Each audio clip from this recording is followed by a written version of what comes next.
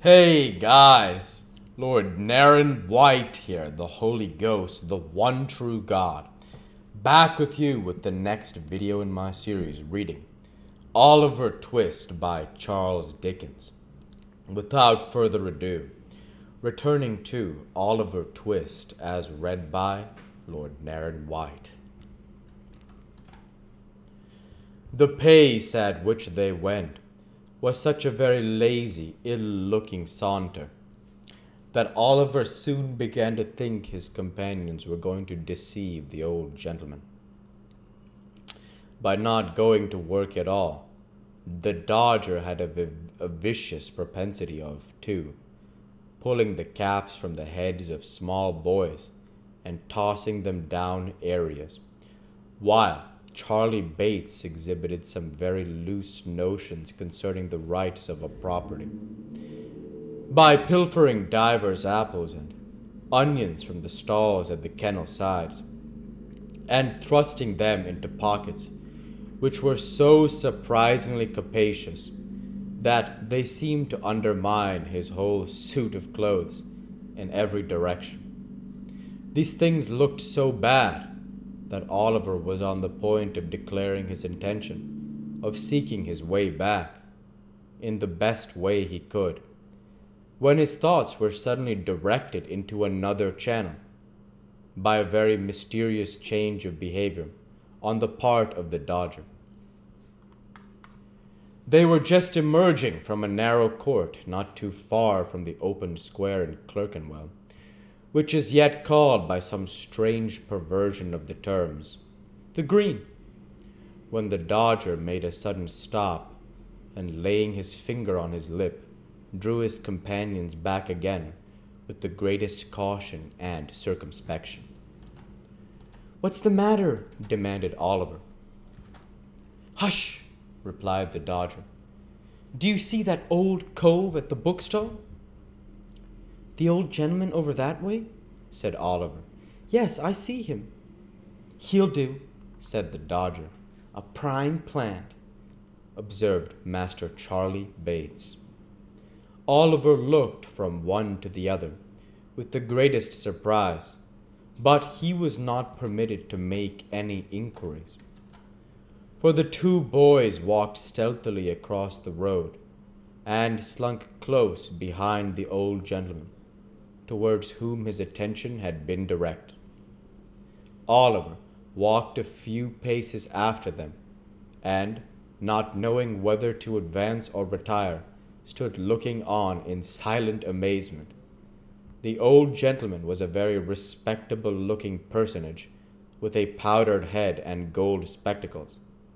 He was dressed in a bottle green coat with a black velvet collar, wore with trousers, and carried a smart bamboo cane under his arm. He had taken up a book from the stall, and there he stood reading away, as hard as if he were in his elbow chair. It is old study. It is very possible that he fancied himself there.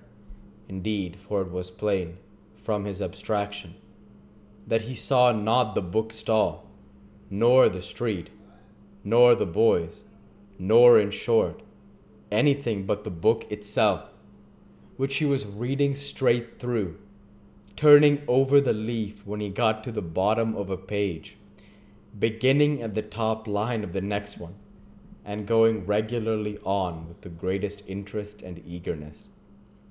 What was Oliver's horror and alarm as he stood a few paces off, looking on with his eyelids as wide open as they would possibly go, to see the Dodger plunge his hand into the old gentleman's pocket and draw from thence a handkerchief, to see him hand the same to Charlie Bates, and finally to behold them both running away round the corner at full speed.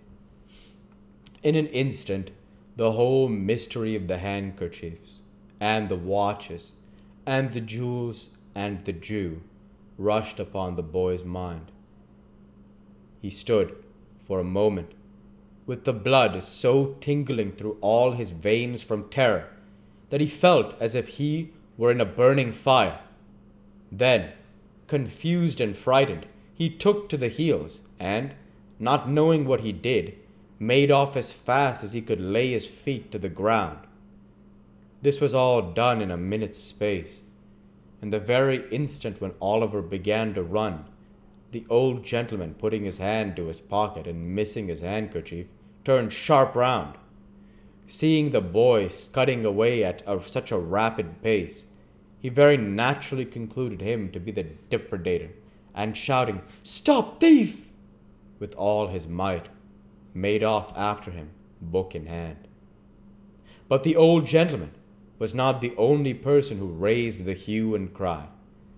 The Dodger and Master Bates, unwilling to attract public attention by running down the open street, had merely returned into the very first doorway round the corner. They no sooner heard the cry and saw Oliver running than, he guessing exactly how the matter stood, they issued forth with great promptitude and, shouting, Stop thief! too, joined in the pursuit like good citizens. Although Oliver had been brought up by philosophers, he was not theoretically acquainted with the beautiful axiom that self preservation is the first law of nature. If he had been, perhaps he would have been prepared for this. Not being prepared, however, it alarmed him the more. So away he went like the wind, with the old gentleman and the two boys roaring and shouting behind him. Stop, thief! Stop, thief! There is a magic in the sound. The tradesman leaves his counter, and the carman his wagon. The butcher throws down his tray, the baker his basket, and the milkman his pail. The errand boy his parcels, the school boy his marbles, the pavior his pickaxe, the child his battledore. Away they run, pell mell, helter skelter, slap dash, tearing, yelling, screaming, knocking down the passengers as they turn the corners, rousing up the dogs and astonishing the fowls and streets, squares and courts, re echo with sound. Stop, thief! Stop, thief! The cry is taken up by a hundred voices, and the crowd accumulate at every turning. Away they fly, splashing through the mud and rattling along the pavements. As they go up the wi- uh, go the windows, out run the people, onward bear the mob, a whole audience desert punch in the very thickest of the plot and, joining the rushing throng, swell the shout and lend fresh vigor to the cry Stop, thief! Stop, thief! Stop, thief! Stop, thief! There is a passion for hunting something deeply implanted in the human breast. One wretched, breathless child panting with exhaustion, terror in his looks, agony in his eyes large drops of perspiration streaming down his face, strains every nerve to make head upon his pursuers. And as they follow on his track and gain upon him every instant, they hail his decreasing strength with joy. Stop, thief! Ay, stop him, for God's sakes, were it only in mercy. Stopped at last, a clever blow he is down upon the pavement, and the crowd eagerly gather round him, each newcomer jostling and struggling with the others to catch a glimpse. Stand aside? Give him a little air? Nonsense! He don't deserve it. Where's the gentleman? Here he is, coming down the street. Make room there for the gentleman. Is this the boy, sir? Yes. Oliver lay covered with mud and dust and bleeding from the mouth, looking wildly round upon the heap of faces that surrounded him, when the old gentleman was officiously dragged and pushed into the circle by the foremost of the pursuers. Yes, said the gentleman, I am afraid it is the boy. Afraid, murmured the crowd. That's a good un. Poor fellow, said the gentleman. He has hurt himself.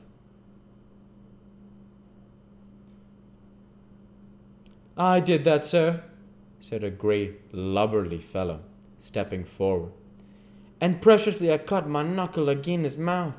I stopped him, sir. The follow touched his hat with a grin, expecting something for his pains.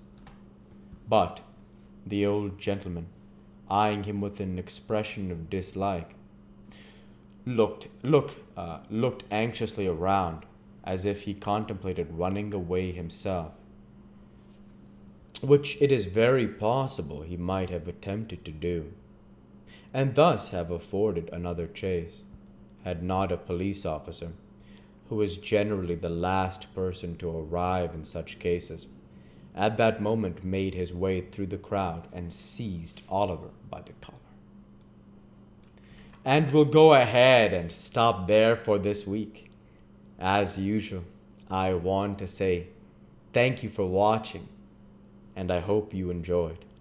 Please like, comment, and subscribe, as it greatly helps the channel. Light be with you all. Take care, and thanks again